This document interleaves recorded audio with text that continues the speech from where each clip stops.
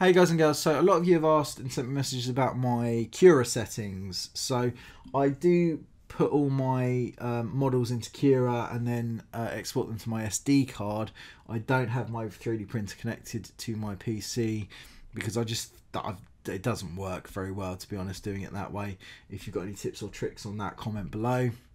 So I'm just going to talk you through my Cura settings. I'm using Cura 15.04.6. Um, going to start on the basic tab and work our way through. So you can see here the quality, my layer height is 0.2, my shell thickness is 1.6 with retraction enabled. If we go into the more detailed settings on retraction, I've got a minimum travel of 1.5, enable combing all, uh, maximum extrusion before retraction is 0.02 and Z hop when retracting is 0.0. Uh, fill is 1.6 with a fill density of 35. Okay, solid infill top, solid infill bottom, infill overlap 1.5 or 15. Um, speed and temperature, so print speed of 35. I find that if I print above 35, I get loads of issues. I get layers not sticking together, um, quite a lot of vibrations on the machine. So if anyone knows how to fix that, if it's a setting or if it's something to do with the printer, again, please comment below.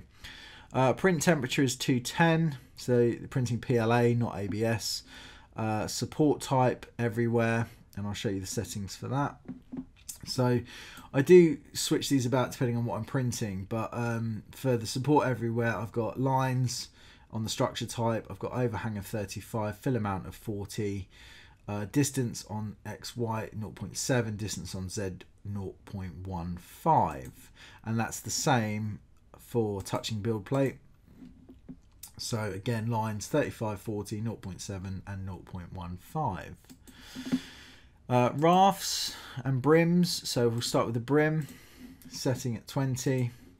And if we look at the raft, some more in-depth settings. And I'm going to mess about with these at the weekend. And if I get a better result, I'll post a little update on that. So uh, extra margin 5.0, line space 3.0, base thickness 0.3, baseline 1.0, uh, interface thickness 0.27, interface line 0.4, air gap of 0.0, first layer air gap of 0.22, um, surface layers of 2, so two surface layers, surface layer thickness 0.27, surface layer line width 0.4.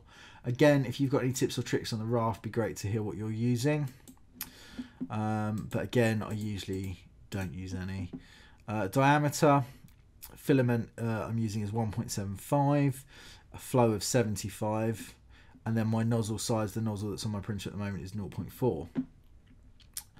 Under the advanced tab, retraction speed is like I say 40.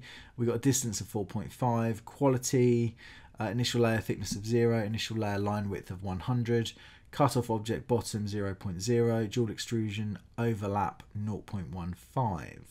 Uh, speed, travel speed is 150, uh, bottom layer speed is 25, infill speed is 0.0, and then top, outer shell, inner shell are all set to pretty much naught.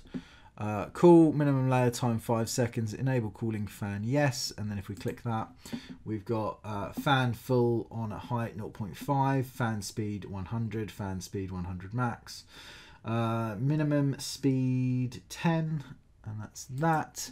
Uh, that's just the plugins and uh, G-code stuff. So let's look at the machine settings. So I've called it uh, RepRap, and we've got uh, obviously E step is at zero, maximum width is 200, maximum depth 200, maximum height 180, extruder count one because I've only got one extruder on it. Um, it has actually got a heated bed, so that should be actually be ticked. Uh, machine center 0.0, no. Build area shape, it's a square. G-code flavor, RepRap Marlin Sprinter. Everything else set to 0.0. And then serial port auto, baud rate auto, done. This is very much specific on your type of printer, so don't just copy these randomly. You'll need to know what your settings are. Uh, like I say, um, I hope that's helped to those of you who want to know what settings I was using. Uh, hit that like button, comment below if you've got any uh, tips or tricks on the settings or you think something's wrong or not set right and I'll give it a go. And uh, thanks for watching.